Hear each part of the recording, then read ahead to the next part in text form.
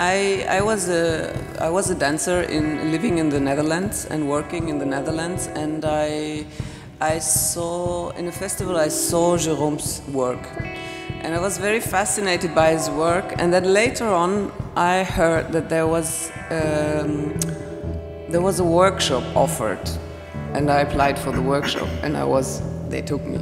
Uh, Le Dernier Spectacle, the last, the last performance. And I, I was sitting there in the audience, I tell you, and I was paralyzed for two weeks because I had never seen something like this before.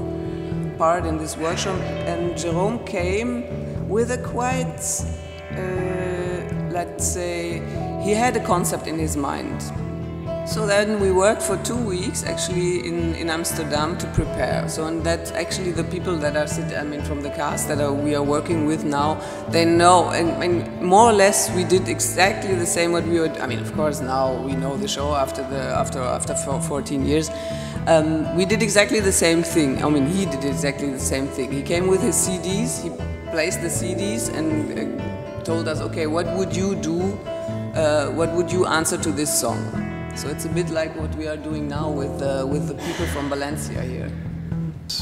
Dramaturgy via all those songs and, and it's so difficult to find um, the similar um, translation yeah, and situation. It's, yeah, it's not all true because when we went to yeah. yeah. to New Zealand, you, we couldn't.